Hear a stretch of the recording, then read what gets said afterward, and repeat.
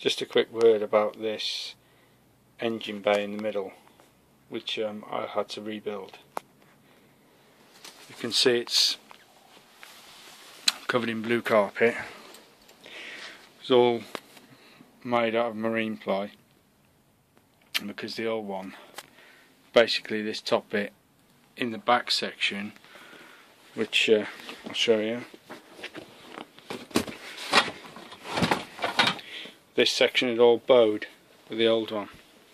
This is the only photograph I've got of the old engine cover.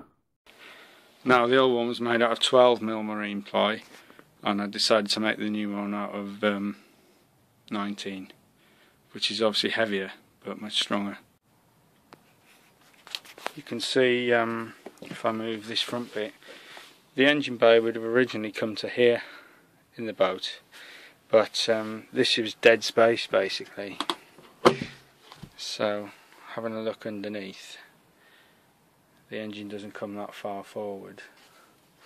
Now just to show you what I've done um, this stuff um, we ordered is basically a noise insulator. Um, it's made the engine the boat a lot quieter when the engine's running. And the whole engine bay is insulated in that. It also insulates against heat. It's quite thick stuff and it's quite heavy actually as well.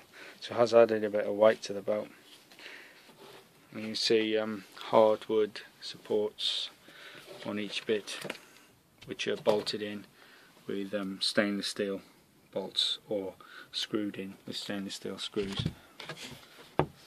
so that just slots in. Okay. On the top one you can see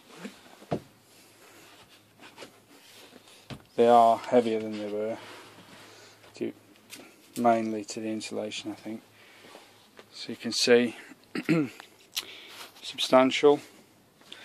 The two side bits are made out of 12 mil it's all been covered in this carpet which is um, from a place I believe called Vans Direct or Van Mats. And it's designed for use in Volkswagen transport type vans or boats. Um, good stuff really good stuff. Easy to work with and tough. So this insulation. I say everything's made out of 19 mil on the top. Uh, 12 mil I think this front one's 12 mil and this is 19 on the floor. And you can see it covers the engine nice. It's all insulated.